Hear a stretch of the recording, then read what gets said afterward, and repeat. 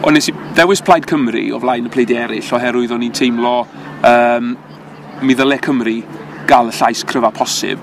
Uh, mi ddyle ni gael fwy o ddatganoli mae angen i Gymru fod yn wlad annibynnol uh, o fewn yr undeb Ewropeaidd oherwydd dwi'n edrych ar yr undeb Ewropeaidd a dwi'n gweld gwledydd eraill sy'n annibynnol.